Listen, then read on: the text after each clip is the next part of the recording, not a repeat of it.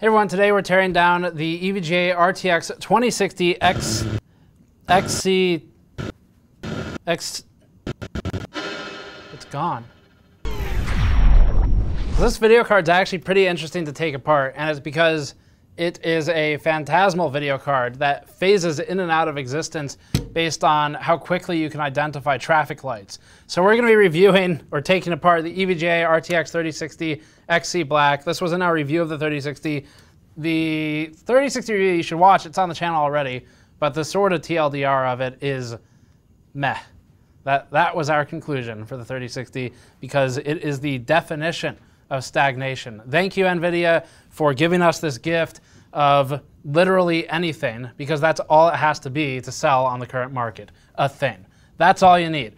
So uh, let's start taking this apart. It looks pretty simple. I only see a few screws on the backside, and the cooling performance overall in the review was adequate to good. So now we can look at why that is and if there are potentially any shortcomings. Before that, this video is brought to you by Thermal Grizzly's Conductonaut Liquid Metal. Conductonaut is what we've used in all of our liquid metal and delid thermal tests, capable of dropping CPU thermals significantly when replacing the stock thermal interface. Lower CPU thermals don't just allow better overclocks, but also lower noise levels because the transfer efficiency is increased. The mix of gallium and indium makes for a thermal conductivity of 73 watts per meter Kelvin, outclassing traditional pastes significantly. Learn more at the link in the description below. Okay, so for disassembly, we are going to be using a GN Teardown Toolkit. These are on store.gamersnexus.net. They are in stock and shipping now. That's right, our things are in stock. And uh, we also have the mouse mats in stock and shipping. Okay, so four screws for just the cooler mounting through the PCB. There's no backplate on this card. They, they tried a little baby flow-through design right here. You can see an attempt at a flow-through design. We could, I mean, this is something where typically I would like block this off, tape it off, and do a test with and without, see how much does it really matter. But uh, right now, people are frustrated with video card content, so I'm not sure we're going to do a separate piece on that. We'll probably just go back to other things. For other screws, there are a, a couple securing the base of the cooler, the fin stack, to the board. This is a tamper seal, but it's not a warranty void seal, so that's a positive. And there are no hidden screws under this sticker, just some SMDs. Okay, let's uh, let's start the teardown. I haven't had any captchas pop up while trying to take it apart yet, but I'm not ruling it out. All right, so four screws. These are going to have to come out. Not always the case that you have to take out these if it's securing a base plate to it, because you could remove the cooler without the base plate. But in this instance, we will have to take these out. I'll track the screws on the mod mat. I don't think I particularly have to for this card. It, it looks pretty simple. Just in case there's anything complicated inside, we'll track the screw placement on the grid on the mat. And uh, it looks like we only have, oh, we've got that one there. So we're going to take the I.O. plate off as well. So there are, uh, oh, there's a nut on the other side of both of those. They are skinnier screws as well. So those need to go specifically back in the I.O. plate. And then here we have three smaller screws for the display outs. I'm gonna grab a Phillips Zero. Actually, that's yep, that's Phillips Zero. We'll grab a Phillips Zero from our toolkit. These have pre-magnetized, these have pre-magnetized uh, tips, although they don't, they, they don't magnetically stick to your hand. So if you're gonna fumble it, that will still happen, unless, unless you're Linus. I'm pretty sure at this point he is actually a robot. So it, that might be the way I can determine, make that determination next time. See if our screwdriver sticks to his hand when he pretends that he's a human and not just some deep learned AI with an army of AI scriptwriters. He says he has a lot of employees, but don't believe him. All right, that should come apart. Yep. Cool. So very simple card. We can analyze this once I disconnect the fans. Okay, I actually really like this. It's such a small feature, and I'm not sure that they even do it intentionally to help you as a user, but it does nonetheless. A lot of the time, the fan headers for video cards uh, they they don't have these clips on them. These clips you can just push it and it'll release from the housing like you would expect. But a lot of video cards they have those really uh, form-fitting connectors and headers, and the end result is that you really need to be careful removing it because you can rip the wires out very easily if you're not pulling in, in specifically the right place. So these are better done than a lot of the ones we've seen, which is kind of, you know, sadly a, a positive side. Very small one, but, but one that makes it easier to repair things. So for assembly internally, we've got some thermal pads. Let's measure the thickness on those. In case anyone ever does maintenance on this in a few years, we're going to get you the thermal pad size so you can replace them. Sizing on these is 2 millimeters. That looks about right. And see if that's the same. That one's maybe 1.5. Harder to measure though. Heat pipes look like they're 6 milli heat pipes. Very simple design. Not as much heat to cool on this. It's a 200 watt card. It's about 170, 185, depending on the OC condition. And uh, it's just two heat pipes going through the center of the die. So if you wanted to get more expensive with your cooling solution, oh, I just noticed the marking on the board too, then you would you would want better coverage. Uh, it looks like four six mil heat pipes would connect pretty well through the entire silicon uh, diffusion barrier, but they've gone with two in the center, so it's not optimal, but it's optimal for keeping it close to MSRP, which is hard to hit at these uh, for the board partners on these cards. Now the, the marking I just noticed that I'm not going to spend a ton of time on because I don't know what it means, but there's a marking right here. Uh, in the past, we've asked EVGA specifically about these marks when they show up on GPUs on the substrate, and they tell us it's a QC mark and not a binning mark, but just a it works or it doesn't work. This one did work, but not sure what else that would be. Just kind of interesting. It could also be something as innocuous as just making sure it lines up properly with whatever, maybe the cooler, for example. So back to the cooler. The solution has the GPU positioned mostly centrally. There's a copper cold plate that contacts directly to the diffusion barrier. That copper plate is connected to the two heat pipes, and the fin stack is uh, welded onto that as is usual.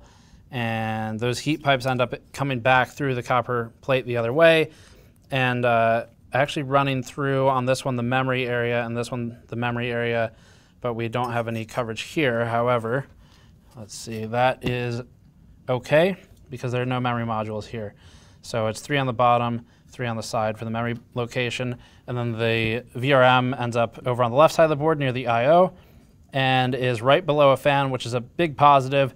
The MOSFETs are contacted directly to actually a copper plate. This is uncommon. These are typically uh, aluminum plates. So there is technically a copper plate there. Now, it's a little bit inefficient because there's a an interface changeover. We're going from this copper plate back into aluminum for uh, a plate that goes to the fin stack, but that's uh, a, a little bit better solution than we normally see on a card of this class. On this side, there's not a lot of contact to what I'm assuming is the memory VRM uh, from the heatsink, but it's just um, two inductors, and those can withstand some heat. They can be air cooled anyway flow through there, and otherwise an 8-pin, pretty simple stuff. Replacing the fans wouldn't be too bad on this one. So to do it, you would take the, the fans are going to have their own three screws. So there's like one screw right there, for example. There's one over here, and there's one over here. So you would take those three out, and you probably want to take the shroud off too. There's a screw for the shroud right down there, and then there's going to be one over here, and then one in each of these corners. And I think it's just one, two, three, four, might be six screws. Uh, that would pull out, and then you'd be able to replace these. Each wire is independent, so they can be replaced individually, which is a good thing. Thermal paste application looks good. Overall, fairly even spread and contact. You can see actually, if we look at this, that they are silk screening the thermal paste onto the cold plate so that they have a wide area where uh, this can, can be done by machine. I don't know if EVGA's third-party factory is doing it that way. It's often done by hand too, the silk screening of paste. You see that, for example, with AMD's stock coolers, when we saw those getting made in 2019, that was all being silk screened by hand. So not sure they're using a machine for this, but using a silk screen, it uses a hell of a lot more paste, which does increase the budget a little bit. You get dinged every time you do that, but it also means that the uh, room for error in applying it is much wider. So uh, a little bit beneficial there. So here you can see that the pad that stayed on the inductors, which is actually the only pad on any of them. That's this is cheap. They I this probably the entire row here should be contacting. I mean, it's not that expensive to get it to come into contact. But anyway, this one pad, uh, you can see the impression from the heat pipes. So that's their direct cooling solution for those two inductors. Doesn't take care of the others, but those uh, those are going to be the hottest. The others, inductors can take a lot of heat. It's like 125, 150C. It's just a copper coil inside of a shell anyway, but would like to see that fully contacted. I'm not actually, I'm staring at this board and I'm not seeing a shunt resistor.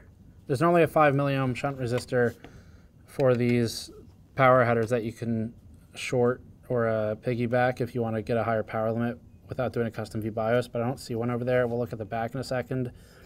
Over here, there is a fuse.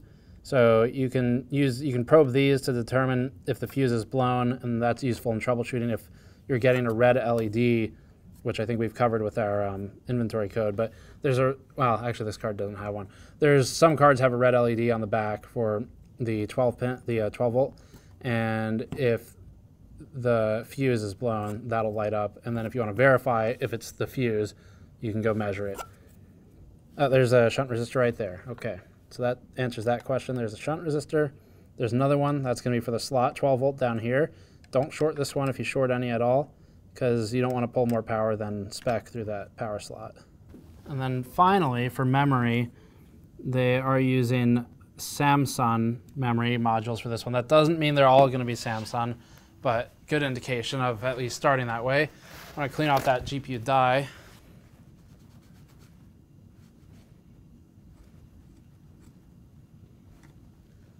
NVIDIA GA106-300-A1 is the SKU.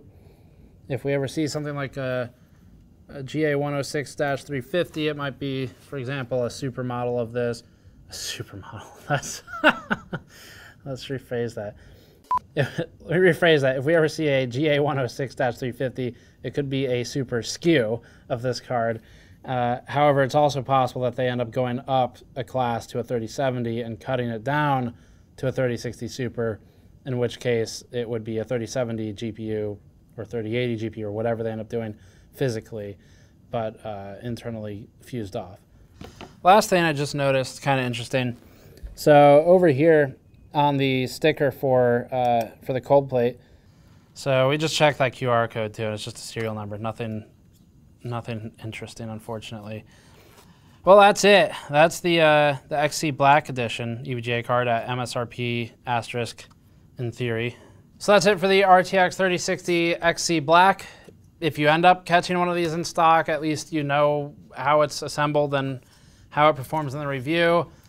But otherwise, uh, like I said, it's it's ethereal in its form, and it's a little bit, as we said in the review, disillusioning to review cards that we know a lot of people might not be able to get anytime soon. So hopefully this helps those of you who can get one or help someone in the future when they get one and they need to disassemble it or maintain it, the fans, for example. But that's it for this. Thanks for watching. You can grab one of the toolkits that we used in this video on store.gamersnexus.net or patreon.com slash gamersnexus for behind-the-scenes videos. And we'll see you all next time.